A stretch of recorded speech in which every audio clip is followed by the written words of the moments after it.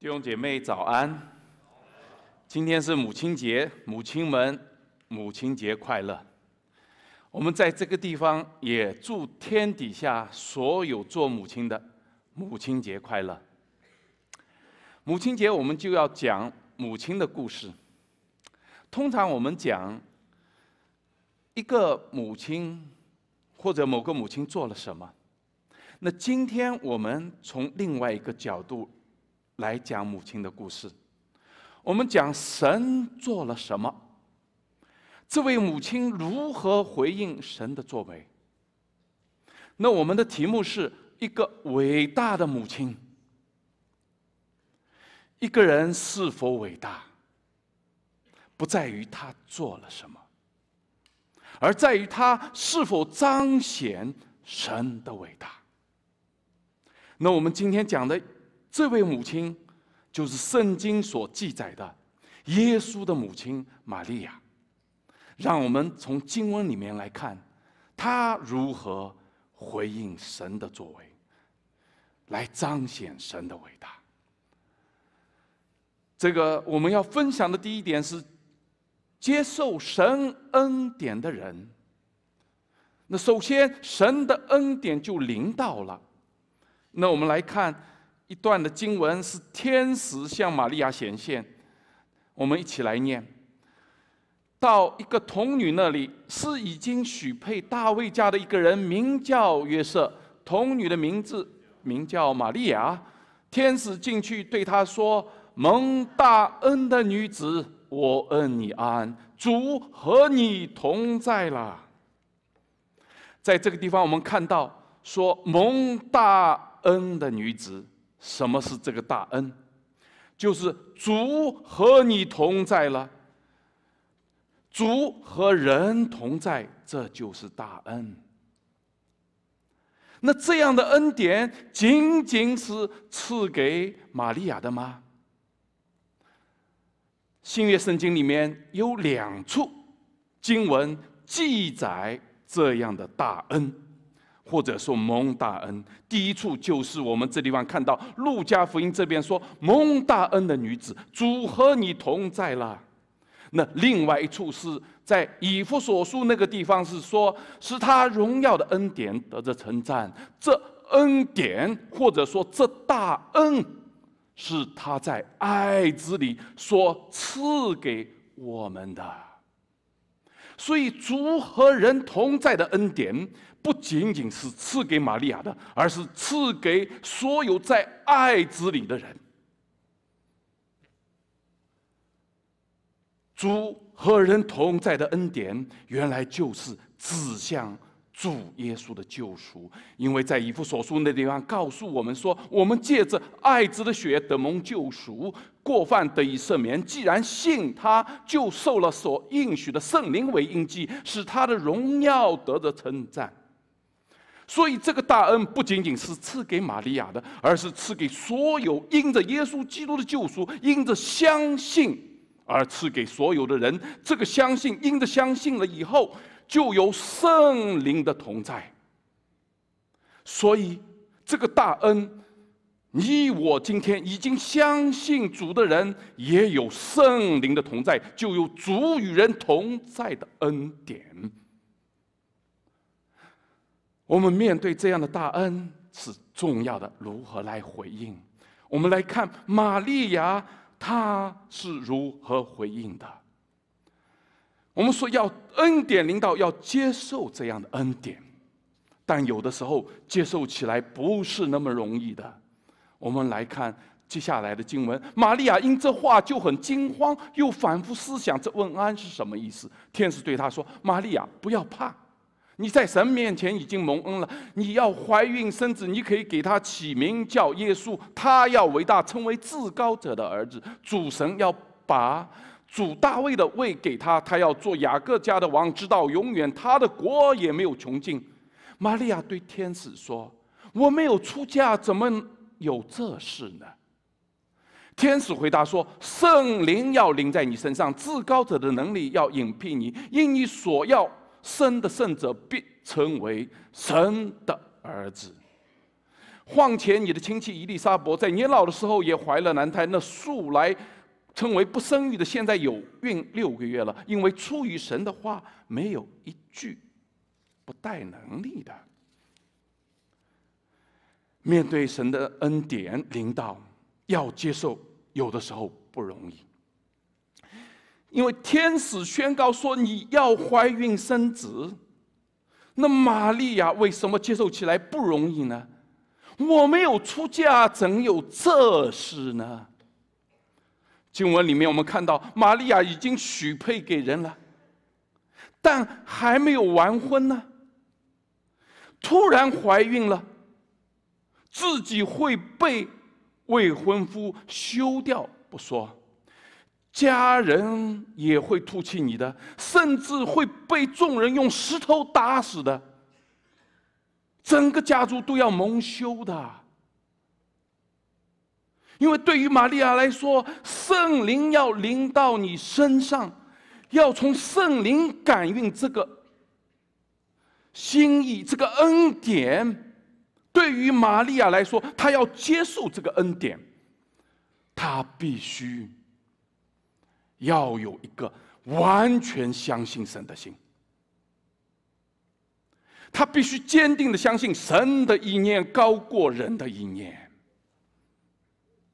同时他要为主放下自己的意念。其实你和我当中真正信主的也是这样，要为主先放下自己的心，是意念。所以他要相信神的意念高过人的意念，他要相信神的能力超过人的想象的。用现在的话说，就是超过我们的理性了。而且他必须要相信神的恩典一定美善，你才会接受这样的恩典，你才能够相信神的恩典。是美善的，一定成就。所以玛利亚是这么来回答的：“她说我是主的使女，情愿照你的话成就在我身上。”天使就离开她去了。所以玛利亚面对未知的艰难、困难和挑战，他愿意为主所使用，成为见证神恩典的器皿。因为他有一个完全信靠神的心，因为他心中敬畏神。经文本身就告诉我们为什么？因为后面玛利亚说：“我心尊主为大。”他有敬畏神的心，我灵以我的救主为乐。同时，玛利亚对神的认识是很深很深的。因为他知道神怜悯敬畏他的人，经文是这样子说的：他怜悯敬畏他的人，直到世世代代。这是玛利亚发出的赞美，他知道。而且，玛利亚知道，神对以色列民的应许，是源自神对亚伯拉罕的应许啊。他说：“他扶持了他的仆人以色列，为要纪念亚伯拉罕和他的后裔，施怜悯直到永远，正如从前我从前对我们列祖所说的话。所以他知道神是施恩怜悯的，知道怜悯敬畏他的人，而且他对神的应许的应验，他有期待的。”他知道，对以色列民的应许其实是源自神对亚伯拉罕的应许。他知道这一位神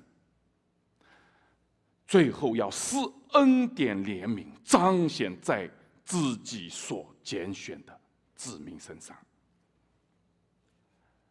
在这地方，我们要有一点点的反思。我们要反思的是什么呢？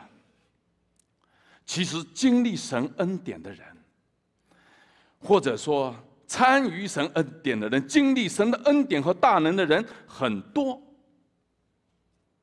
例如，神拯救以色列民出埃及的时候，过红海，以色列人都经历了；耶稣施行五饼二鱼神迹的时候，有经历的人超过五千人。我们要思想的，但是以信心回应神、跟随神的人，愿意献上自己，成为彰显神恩典器皿的人不多。为什么？原因，因为许多人只想要从神来的好处，不想要神；只想要从神来的好处，不想要神。这就不是以信心回应神，所以主耶稣对那些因着五饼二鱼来找他的人说：“你们找我，乃是因吃饼得饱而已。神要人回应，是要来信靠他。出埃及的以色列民后来倒在旷野里面，因为他们不信，没有进入神真正的安息。”所以，唯有以信心回应神的人，才能够进入神完全的同在当中。这个是我们要反思的。那我们来继续来看玛利亚怎么样子来回应神，她思想神的心意，她是一个思想神心意的人。我们在刚才的经文就看到，天使进去对他说：“蒙大恩的女子，玛利亚因这个话就很惊惶，就反复思想这问安是什么意思。”所以从玛利亚的举动里面，我看到虽然惊惶，但反复思想，因为她有一个渴慕神、渴慕明白神心意的心，所以。他想明白神借着天使这个话到底要写明神的心意是什么。那接着我们还要去看一段经文，是天使向牧羊人显现，后来又来看约瑟玛利亚，看玛利亚怎么回应。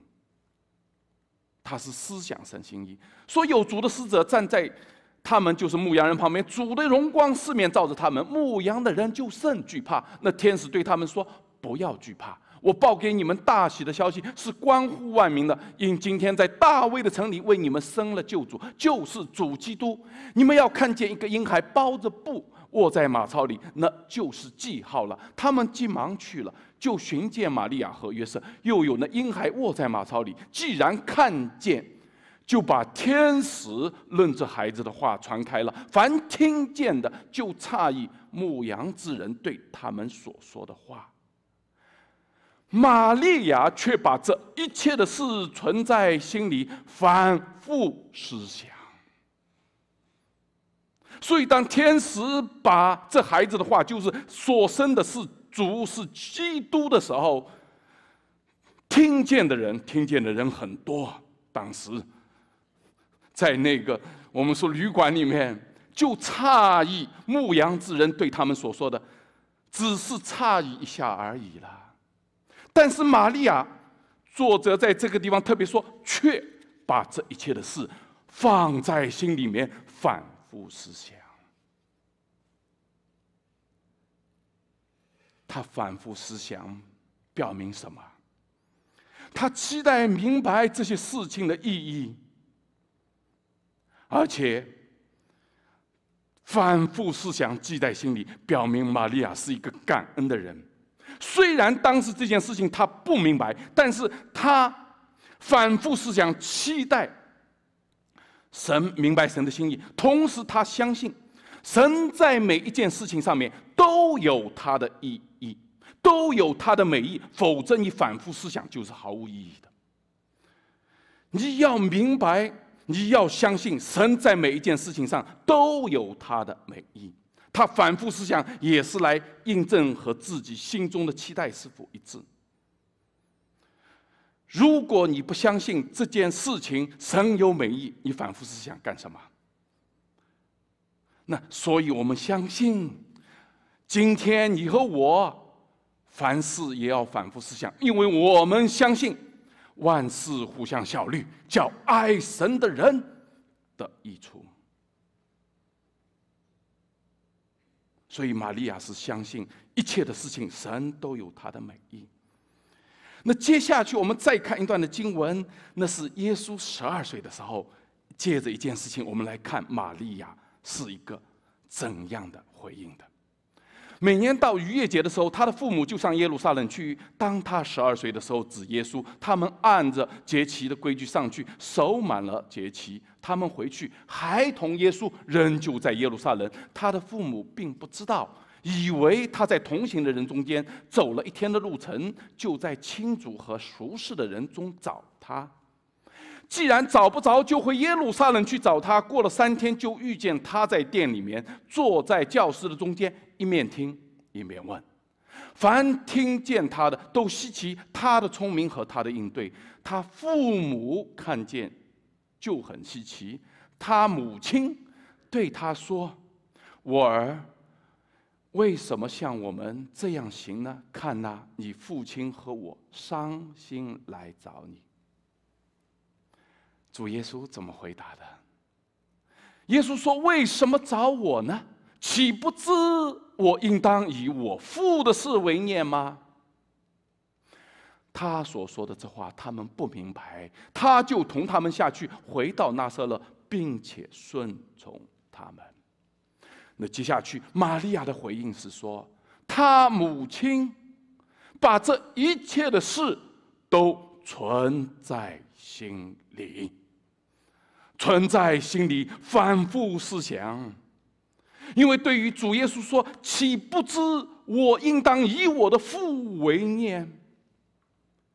当时玛利亚不明白呀，但他存在心里面，所以他想，不仅仅是从这个是儿子的角度，儿子耶稣的角度来看耶稣所说所做的，他要从耶稣。是主，是救主基督的角度来明白耶稣到底什么心意啊？所以他思想的是，这个孩童耶稣，他就是主，他是救主，他说这些话，他的意义是什么？所以这是他母亲把这一切的事。都存在心里。当时不明白，但是渐渐他就明白了。我们弟兄姐妹也要有反思的。你和我常常把神的话放在心中反复思想啊。我最近参加一个小组，说这个他有个弟兄说：“哎呀，我真的要这个悔改。”他说：“我读经只是为了打卡。神的话要反复思想，而且经历神的恩典以后，你要反复思想这个经历，神要告诉你什么事。你只有反复思想，你才明白神的心意，你才遵行神的心意。那我们是分享第二点，玛利亚是思想神心意的人。”我们说他也是体贴神心意的人。我们来看几段的经文，他如何体贴神的心意。这地方说，耶稣的母亲和他的弟兄来了，因为人多不得到他跟前。有人告诉他说：“你母亲和你弟兄站在外面，要见你。”耶稣回答说。听了神之道而遵行的人，就是我的母亲，就是我的弟兄了。如果你是他的母亲，你是他的弟兄，你怎么想？说听了神之道而遵行的人，就是我的母亲，就是我的弟兄了。那在另外一处的经文对应的是说，耶稣指着那群门徒说：“看呐。”我的母亲，我的弟兄，凡遵行天父之意的人，就是我的弟兄姐妹和母亲了。如果你是他的母亲，他的弟兄，怎么想？耶稣的意思是这样的：任何人与耶稣作为救主、主基督的关系，不是靠。在地上的血缘亲属的关系所决定的，不是在地上跟他有母亲或者是兄弟或者是姨妈这样的关系决定的。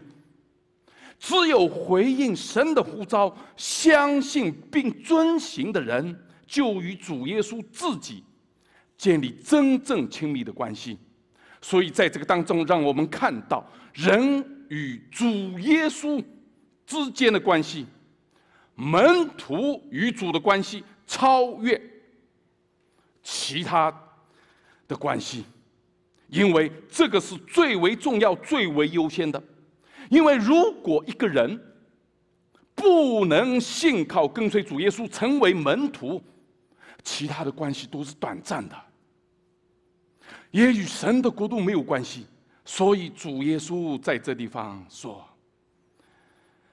听了神之道而遵行的人，就是我的母亲，就是我的弟兄了。”对于这些。耶稣的弟弟们、妹妹们，哎，听了这个话呢，还比较好接受。那四个弟弟啊，比较好接受。为什么呢？因为犹太人的律法、神的律法就是要求把其他的人当做弟兄姐妹、当做兄弟一样。但是对于耶稣的母亲来说，要接受还真不容易嘞。因为要把母亲与儿子的关系放在门徒与主的。关系之下，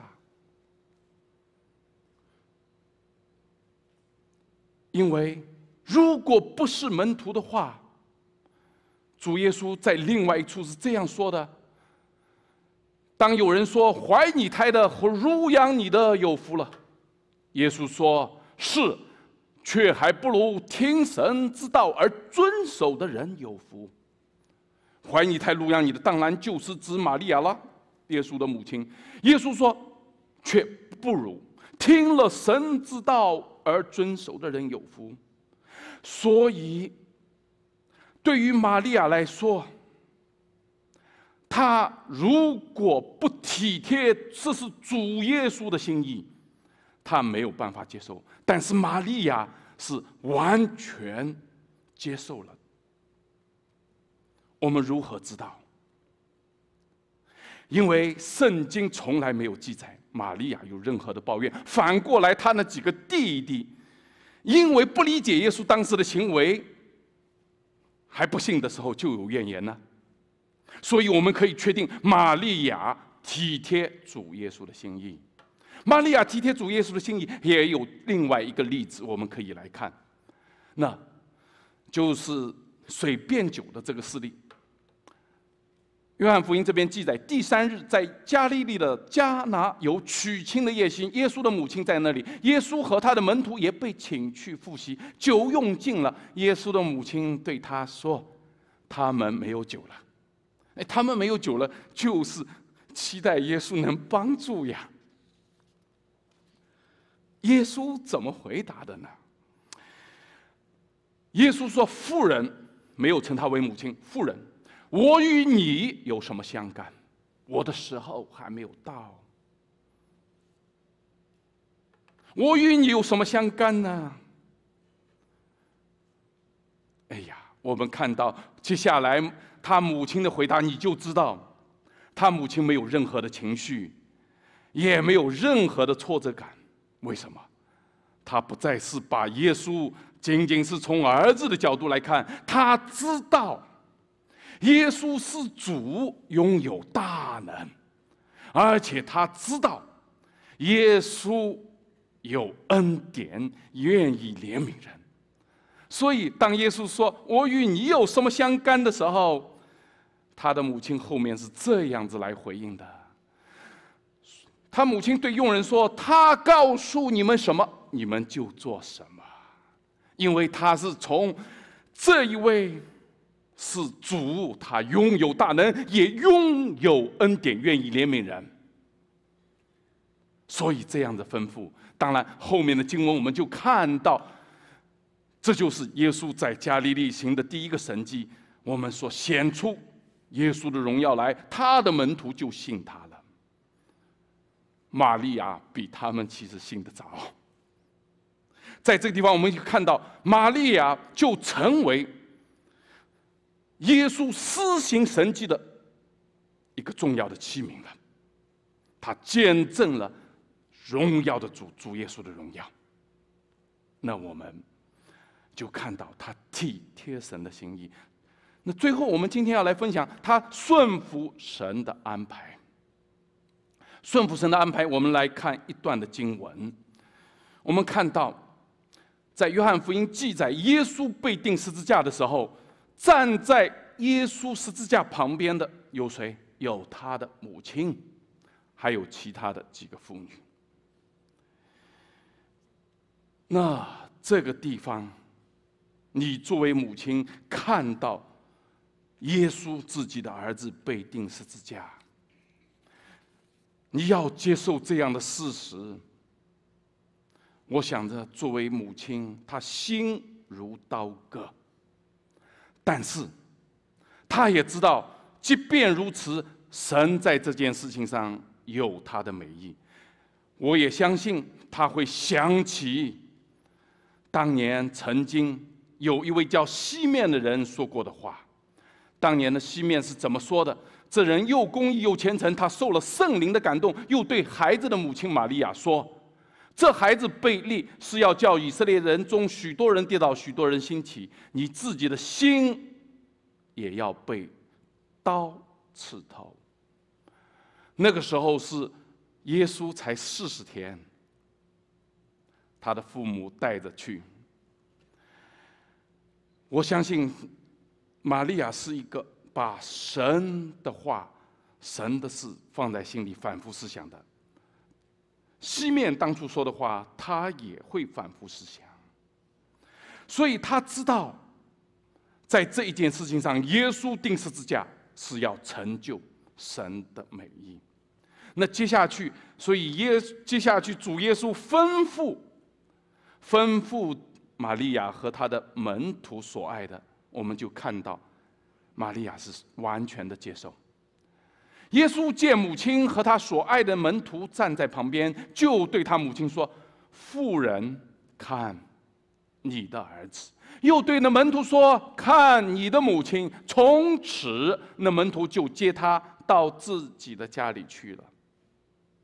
所以，在这个地方，主耶稣的安排确实是把母亲托付给耶约翰，更是让。已经信靠主的玛利亚作为门徒，与已经信靠主的约翰门徒之间落实彼此相爱的吩咐，因为凡遵行我天父旨意的人，就是我的弟兄姐妹和母亲了。所以，更多的是来落实主耶稣的吩咐，因为接下去我们看到圣经记载，玛利亚最后。一处的经文，强调的就是他作为门徒的身份。那我们来看最后的经文记载，是在《使徒行传》的地方说，有一座山名叫橄榄山，离耶路撒冷不远，也有安息日口走的路程。当下门徒从那里回到耶路撒冷去，进了城，就上了所坐的一间楼房，在那里有彼得、约翰、雅各、安德烈、腓利、多马、巴多罗马了。呃，马太、亚勒菲的儿子雅各、分瑞党的西门和雅各的儿子犹大，这些人同着几个妇人和耶稣的母亲和玛利亚，并耶稣的弟兄做什么？同心合意的横切祷告。那时有许多的人聚会，约有一百二十名。这一段的经文记载的是，耶稣已经从死里复活了。但是他在升天之前，给门徒们赐下吩咐，让门徒们等候在耶路撒冷，要等候圣灵的降临。那耶稣升天了以后，这些门徒就照着主耶稣的吩咐就来行了。所以，除了那十一个门徒之外，特别提到耶稣的母亲玛利亚，并耶稣的弟兄，是从门徒的身份来记载。耶稣的母亲是门徒，这时候这些弟弟们也信了耶稣基督了，他们也是门徒，所以他们同心恳切祷告，遵守神的吩咐。所以，我们今天分享的经文看到，玛利亚作为耶稣的门徒，完全顺服主的吩咐。我们从耶稣的降生，从耶稣降生以后十二天，后来十二岁，一直到耶稣侍奉，一直到耶稣被钉十字架，整个的过程，我们看到玛利亚是顺服主的吩咐，所以是一个伟大的母亲。她是一个伟大的母亲，因为她彰显了神的伟大。这就是我们的中心思想。一个完全顺服神心意的母亲，就是伟大的母亲，因为她彰显神的伟大。弟兄姐妹，无论你是做母亲的，无论你是做父亲的，无论你是做儿子的、做女儿的，当我们完全顺服神的心意。我们才能，我们也就彰显神的伟大，彰显神的荣耀。那我们来分享应用两个部分。第一，要思想神的心意。思想神的心意，你要首先要知道。所以弟兄姐妹，读经不是打卡啊，不是。虽然比不读要好。每天要读经，心态要对，心态要对。心态是什么呢？要寻求神借着当天的经文向你向我说什么？因为圣经的话是神的话，是生命的粮，是要来更新我们的心思意念的。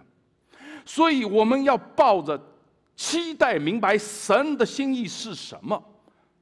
神借着这些话向我们说什么，那我们就是对的读经心态。这样子，我们就不会被自己许许多多的好奇心就牵引了，带偏了。要思想神的心意。另外一个方面，最近我参加慕道班，他们同工开会啊，当时我就有感而发，有感而发，我就请每一个参与侍奉的成员。是要带着期待的心来侍奉，不是为了做那个施工而已。期待什么呢？要期待在每一个侍奉的过程当中，自己的生命能够成长。期待自己的生命能够成长。什么是成长？成长就是更深的认识神，更深的爱神，也更深的爱人。因为只有这样，我们才能够留意到神在这个过程当中神的作为，才能够留意到神的应许是如何来成就的。所以我们再一次要说，侍奉本身不是目的，你我的生命被更新改变，那才是神的心意。我们要再一次说，万事。互相效力，叫爱神的人得益处。这个益处不是别的，这个益处是要我们效法耶稣基督。只有这样，我们才能够真正引领人跟随主、信靠主。因为你自己在信靠主、跟随主，其实不仅仅是侍奉，是所有的事情。都要成为我们生命成长的经历，因为凡事都在神的手中，要常常思想神的心意，否则那些事情你可能是白白的经历了。凡事都可以成为你我生命成长的经历。第二个，我们要顺服神的心意。哎呀，前一段时间我有个机会和一个母亲有一点交流。他有两个儿子，一个儿子正在读大学，一个儿子大学已经毕业了。两个孩子都很看重与主的关系，也很看重教会的群体生活。我就向他请教，他如何教养孩子？那他也很谦卑的告诉我，我没有做什么。但是他提到一件事情，我非常的阿门。他说，在孩子小的时候啊，他对孩子说。他说：“我不仅仅是一个 Asian，就是亚洲裔或者说华裔的母亲。他说我也是一个基督徒母亲。”从他简单的一句话，你就看到什么是在他心中最为重要的，就表达出来了。当中每一位信主的妈妈们，你对孩子怎么说？你对孩子的期待是什么呢？好的学校，好的工作，好的生活，当然这些多好。但即便拥有了这一切，最后却不认识耶稣基督，又有什么用呢？我想目标只有一个：孩子一生跟随主，爱主，也爱人。期待这就是每一位你的心愿，也是做父亲的心愿。那我们做儿女的。我们都有母亲，我们对母亲的心愿是什么呢？前一段时间，我和我妈有一点交流，我就把我心中的一些担心告诉我妈。我跟我妈这么说：“我说妈，我说我想您需要持续把自己的心思意念交在主耶稣基督的手中。”要求神持续更新自己的心思意念，要以神永恒的国度为念，而不是以看得见世上的事情为念。唯有这样，神才会垂听我们的祷告，医治我们的身体。我妈当然有些疾病，让我们身体恢复，在神不是难事。但神要的是我们，我们的心真正归向他。神要的我们的心真正归向他，让他来掌管。所以我跟我妈说：“说妈，为了你身心灵能够渐渐的康复，请一定从心底亲近神，把神的国、神的心意看得比世上的事情重要。”因为世上的事都是暂时的，都要过去；唯有神的道和属神的人，才能永远长存。我说妈，愿神开心眼赐福您，儿子。感谢神，我妈是这么回复我的。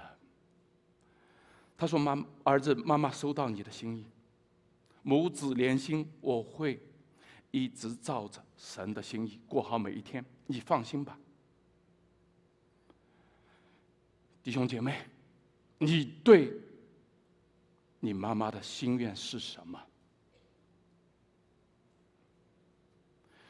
今天是母亲节，我们思考讨论问题里面有这么一个话，说：“请为您健在的母亲感恩，以及身心灵祷告。”请为您孩子的母亲感恩，以及身心灵祷告。请为您属灵的母亲感恩，以及身心灵祷告。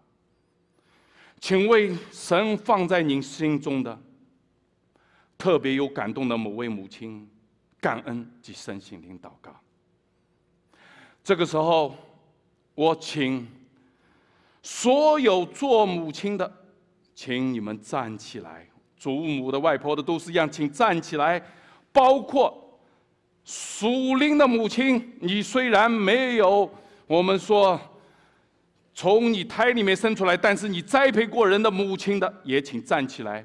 尤其提醒，如果你刚刚怀孕，那个就是生命，也请你站起来。我们请其他的人伸出你的手来，我带领大家为我们的母亲们来祝福。慈爱恩典的主啊，我们感谢你，感谢你在我们每个人的生命中赐下一位母亲，借着母亲把你的爱传递。你是爱的源头，因为你因着爱创造生命。母亲的付出都是长期的，都是无私的奉献。求你施恩在每一个母亲身上。主啊，求你，求你赐给母亲们数天的智慧，懂得教养孩子，跟随你，行在你的道中，传承信心，成为你恩典的见证。主啊，求你感动每一个做儿女的，常常怀着感恩的心来孝敬母亲，成为母亲的安慰和帮助。求你带领所有信主的儿女们，不但有关爱母亲的实际行动，也常常为母亲的灵魂祷告，为母亲与神的关系守望，成为母亲的祝福，成为主所使用。的恩典的管道，主啊，我们愿意显明你的恩典在母亲们的心中，求你赐福每一位母亲，愿你美好的旨意成就，愿你的名被荣耀，奉耶稣基督的名求，阿门。我们给所有的母亲掌声，母亲们，谢谢你们。